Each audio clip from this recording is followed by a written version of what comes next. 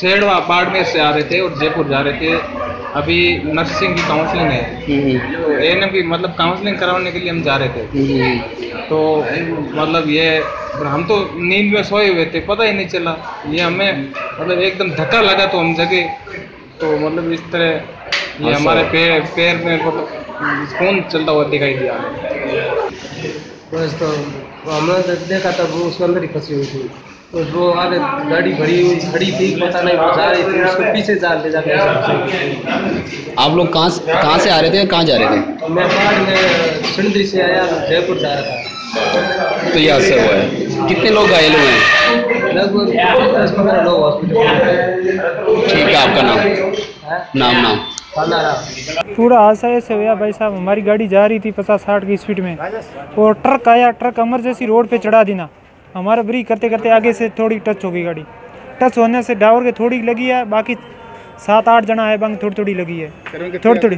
है? कितने यात्री सवार थे बस सवारी चालीस थी लेकिन लगी सात आठ जना गई है। अजमेर ये सात आठ जने हैं। थे हाँ? क्या नाम है? हमारा नाम ओम प्रकाश रही थी बस आती चोटन जोधपुर भैया जयपुर। आज सुबह साढ़े पाँच बजे थाना आज़ादी इतला मिली।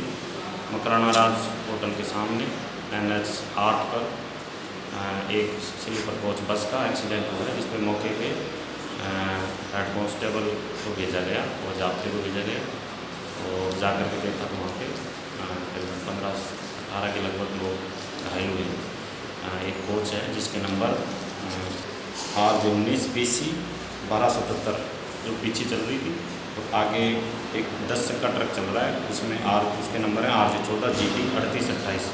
इक्कीस उसमें घुस गई है जिससे मजलवान को यहाँ वाई एच हॉस्पिटल में एडमिट करवाया गया। इनमें से आठ रेफर अजमेर किए गए प्रथम दृष्टया दुर्घटना का कारण क्या लग रहा है? दुर्घटना का मुख्य कारण ये है इस और स्पीड तेज़ गति से चलाने के कारण।